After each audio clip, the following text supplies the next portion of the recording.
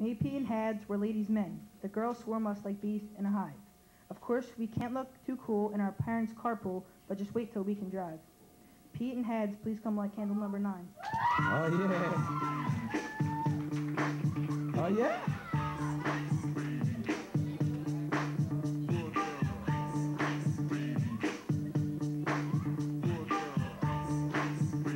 Come on, clap your hands. Next, stop. Your party's really fun so far. All we did is eat salad.